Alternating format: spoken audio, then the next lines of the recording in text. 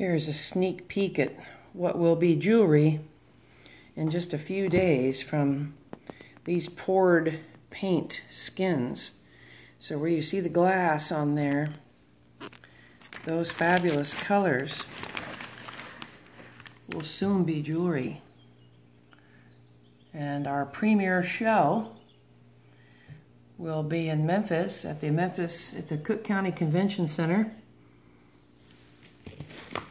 June 13th through 17th. Look at these colors, aren't they fabulous? Look at that.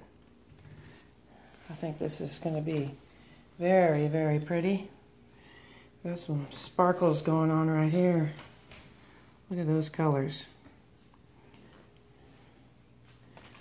Whatever does not get sold at Cook County Convention Center, we will be posting on Etsy.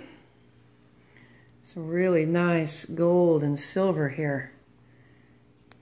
Beautiful. Beautiful. Sort of some modern art looking ones. Look at the colors. So be watching.